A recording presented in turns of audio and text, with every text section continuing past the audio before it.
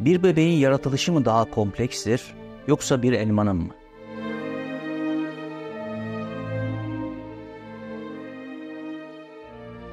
Bir bebeğin gelişmesi mi daha zordur, bir elmanın mı?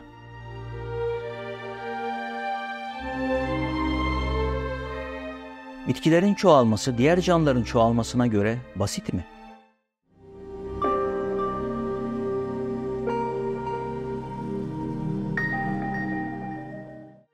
Eşeğli olarak üreyen canlıların çoğalma şekli birbirine benzer. Bir hücre bir canlıdan, diğer hücre diğer canlıdan bir araya gelir.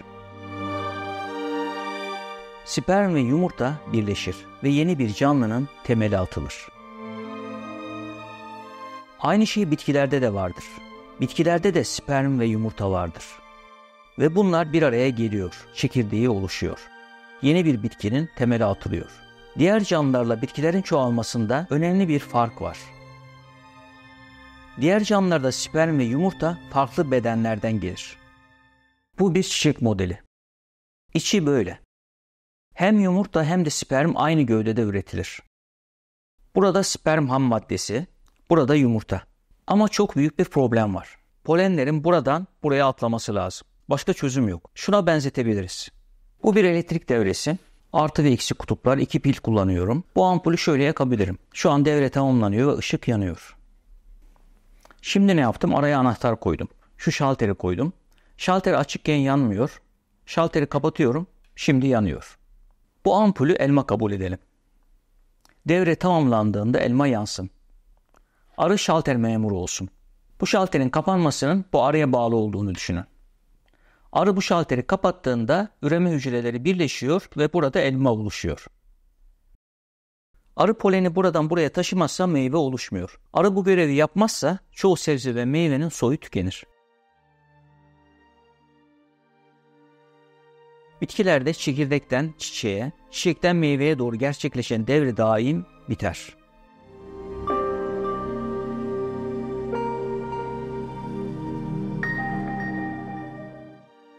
Şunların içi polen üretim fabrikaları.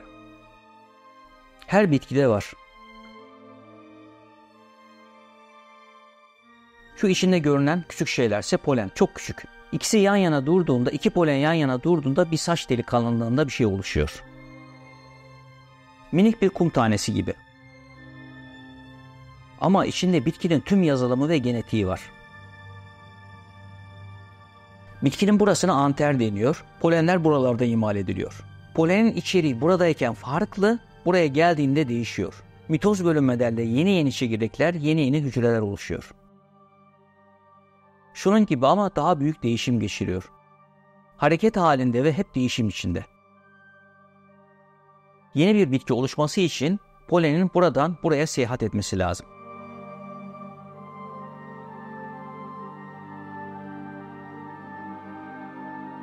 Veya aynı türden başka bitkiye. Polenlerin rüzgarla veya suyla taşınan modelleri de var. Ama en önemli tozlaşma şekli böceklerle arılarla olan. Bu arı güne başlıyor, karnı aç. Alışverişe çıktı. Bir günde ortalama 50-100 marketi ziyaret edecek. Arının marketi çiçekler. İki şeye ihtiyacı var. Bir, bal yapmak için ham olarak nektar. Bununla bal yapacak. 2. Polen. Polende protein, yağ ve vitaminler var. Nektar şeker demek. Şeker enerji verir ama protein ve vitamin lazım. Protein ve vitamin ise polende var. Polen olmasa yeni doğan arıların vücudu gelişmez. Arı neslinin devam etmesi için polen şart. Yani arı kovanların ana gıda kaynağı çiçeklerden toplanması gereken polen.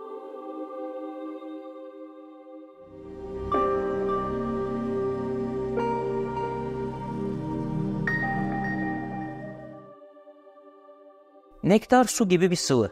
Arı nektarı içine çekiyor, orada taşıyacak. Nektarı içine çekerek taşır. Peki poleni nasıl taşıyacak? Poleni nemli kum tanecikleri gibi düşünebiliriz. Taşıması zor. Arıya market çantası lazım. Bu çantalar olmadan nemli kum taneciklerini yani polenleri taşıyamaz.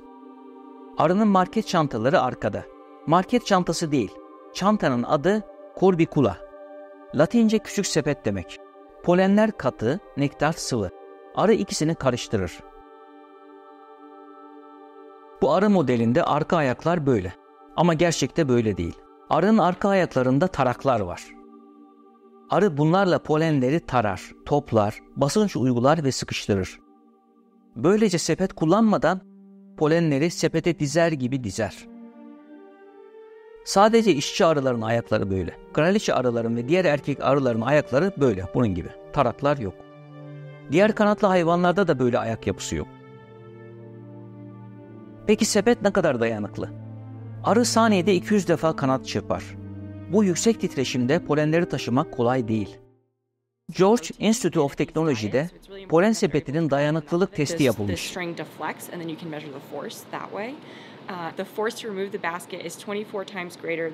Deney sonucunda sepetin alabileceği ortalama bir darbeye göre 24 kat daha güçlü olduğu tespit edilmiş.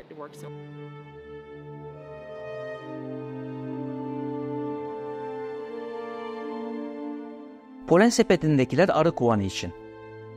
Peki tozlaşma? Tozlaşma için vücuduna yapışanlar yeterli. Arı nektar almak için her dolaştığı çiçekte bu polenleri ister istemez stigmaya bırakır. Böylece polen sepetine koyamadığı polenlerle tozlaşma yapmış olur. Polenler arılar tarafından buradan buraya bırakılana kadar şuradaki haliyle besleyici bir gıda. Buraya konulduğu an gıda işlevi biter.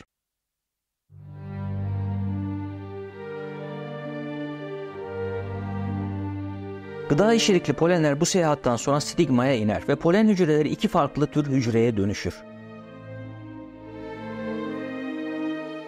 Birincisi oluşacak meyve için bitki spermi haline gelir. İkincisi çok daha enteresan. Tünel açıcı hücreye dönüşür.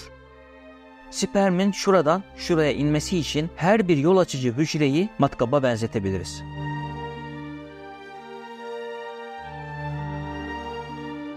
Bu dönüşümden sonra ovaryuma yani yumurtaya doğru yolculuk başlar. Diğer canlılarda sperm bir canlıda, yumurta diğer canlıdaydı. Bitkilerde her ikisi aynı gövdede. Burada sperme dönüşecek olan polenler var. Burada ise bitki rahmi ovaryum. Yani yumurtalık. Yumurta burada oluşuyor. Niçin böyle dolambaçlı bir yol var? Yani bu elmanın oluşması için bir arıya niye ihtiyaç var? Biyologlar şöyle açıklıyor. Çiçeklerin böyle göz alıcı olmasının sebebi arıların ve diğer uçucuların dikkatini çekmek istemesi. Çünkü tozlaşma için böceklere gereksinimi var. Bu cümlede çiçeklere akıl, irade, güç ve bilinç vermiş oluyoruz. Yani her bir bitki akıl sahibi. Dahası kendi tasarımını kendisi yapabiliyor. Ama arılara ihtiyacı var. Eli buradan buraya varamıyor. Tozlaşma yapamıyor. Bekliyor. Tozlaşma yapamayınca buradan buraya polenler gitmiyor ve hayat bitiyor. Bu arada ölmüyor ama arıların gelmesi için renkli yapraklar üretiyor. Mantıksal tutarsızlık var. Bitkiler kendilerini madem tasarlayabiliyor, öyleyse kendilerini niçin arılara muhtaç olacak şekilde dizayn ediyor? Bu sorunun cevabı var mı?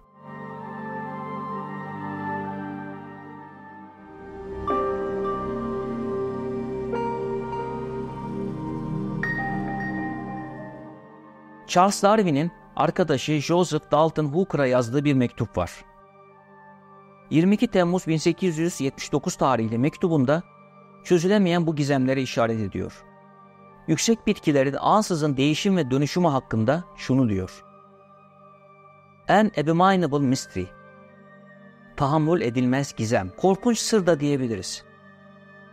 Bitkiler dünyasındaki bu gizemler hala tamamıyla çözülemedi. Diyelim ki ben elma üretecek bir ağacım. Bunları buradan buraya direkt olarak bağlardım. Renkli yaprak üretmeye de gerek kalmazdı.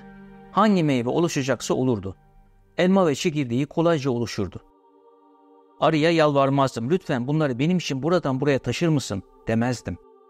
İşte böyle olmamış. Çiçek ve arının sahibi aynı. Çiçeğin de arının da mühendis ve mimarı aynı.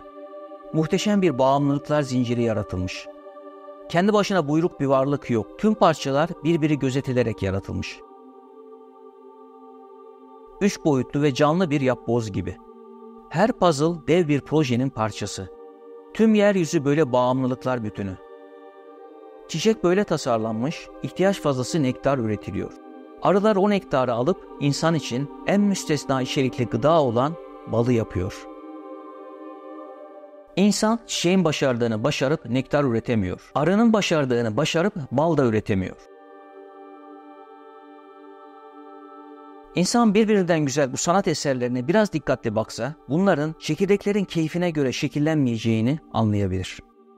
Çiçek ve arının ardında onların yaratıcısını görebilir. Bal mucizesinin, sebze ve meyvelerin kendisi için planlanıp üretilen birer armağan olduğunu anlayabilir.''